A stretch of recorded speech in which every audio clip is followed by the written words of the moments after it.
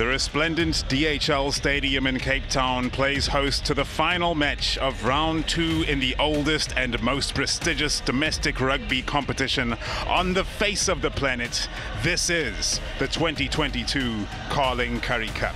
It's a North-South derby in the final match on a Wednesday evening. Of course, Currie Cup matches coming away all week these days, starting in January as well. The final will take place on the 25th of June, and thus far in the competition, it is the two powerhouses that lead the way. The Bulls in number one on points difference only, two points between them and DHL Western Province, both su successful in their first matches.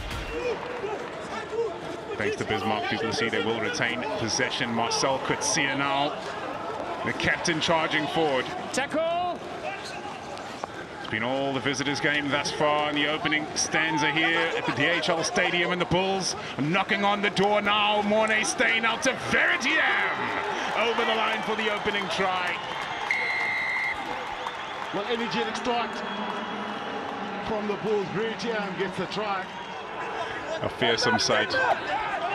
Tap and go. Well, directly into the contact, Muller Uys.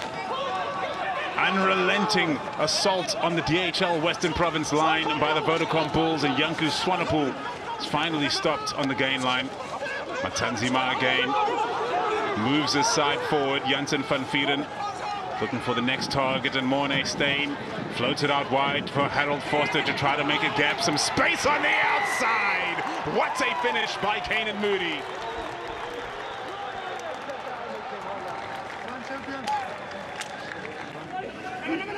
Janko Swanepoel makes the shift to the front and they do set into formation this time again, the Vodacom Bulls.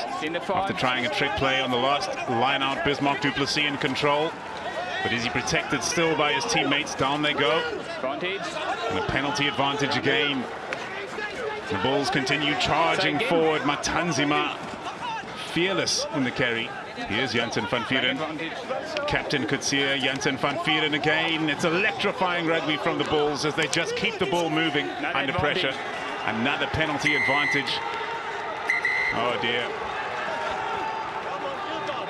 Number eight. It's a very poor technique to contest like that. Not supporting body weight. Yeah, that's the I've just spoken to your captain about This it. is all pressure. Keke Murabe to build up of Hands across penalties. the ball contesting. Set. Stability. Ball is in from Janssen van Vieren. Slow progress this time from the team in blue and Muller Uys. Look at that leg drive. Over the line for the try. Simphiwe Matanzima. And that's the power. Again,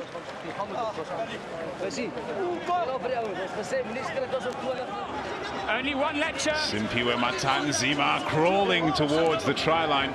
Advantage. Another penalty advantage to the visitors, and now they can play with freedom. Or they can just batter their way over, which is looking like a very good option Only for the side in blue right now. Forward he goes again. Marcell Coetzee reaches out over the line, and the try is given. Okay, uh, Marius. Yeah. Okay, so um, if you've uh, the ball, the ball has been uh, placed forward. Yes. Um, if you have a grounding there, because I cannot disprove that there was there's an arm in the way. If you have a grounding there, then you stick with your on-field Yes. decision. I'm confident that I've got a grounding, and then what makes it look worse is that the ball is then pushed back. But I'm confident that I had it on the first attempt to ground it. Okay, then you stick with your on-field decision. Thank you. Try given, and Kyle Brink it is. Swanepoel at the front, no contest from Western Province as they try to effect a strong drive against this rolling maul. They've missed out on the target area. Bismarck du Plessis, nice and easy over the line. Another try for the Vodacom Bulls. the power and the Bulls managed the initial hit. Vodacom Bulls consolidate their position and break again. Once more, DHL Western Province defending for their lives. Another penalty advantage. The penalty count completely out of hand now. Manjezi Still playing a penalty slightly advantage. upright on the carry. Number six. But it'll come back for the Vodacom Bulls again. Marcell Coetzee does not need a second invitation. And here's Janko Swanepoel looking to muscle this ball over the line. Janssen van Vuuren diving over the top, and it's another try. Yeah, patience, patience from the Vodacom Bulls back.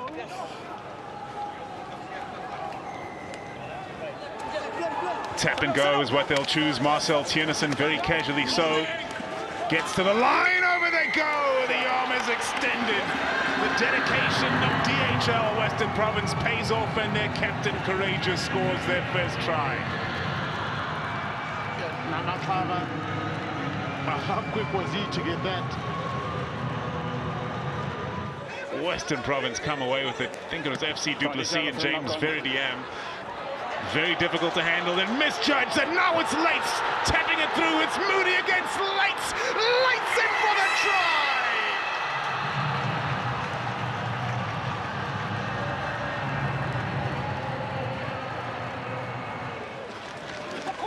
Again, in a difficult position as well in Daba.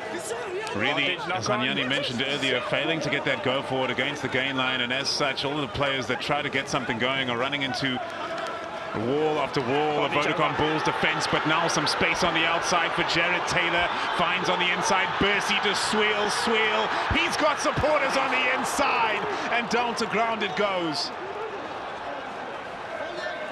Knock on, an advantage to the Vodacom Bulls. A squandered opportunity, that one's going to burn. But Sweel was trying to get that ball away. Okay, so Maurice, I'll tell you what I'm seeing. Okay, wait for the camera on you, hang on. Okay. I'll tell you what I'm seeing. It's it's not a recognized cleaning position. He's actually diving. He's leaving his feet in a dangerous manner. It's direct contact to the head uh, with a high level of danger. Um, at this stage, I can't see anything other but a red card. I agree with the facts. Okay, perfect.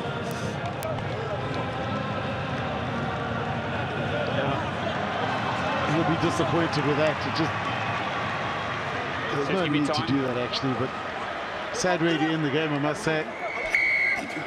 Been tough, it's been physical, but it hasn't been dirty. Offside. Christopher Schroeder onto the field for Province as well. Here's Theunissen. Release at 16. Call comes to release Jared Taylor at the base of the ruck. He comes with the pick and go. The leg drive is strong. Again, a meter or so, and they set again. DHL Western Province head to the blind. Bursey off to Theunissen. Theunissen fighting for the line, and over he goes for the try. Schroeder. Straight and true, the flags go up and the final whistle blows on the second round of the 2022 Carling Currie Cup. It is the Vodacom Bulls flexing their muscles on the top of the log, knocking off the number two team and looking ominous for the future of the competition for all opposition whom they may face.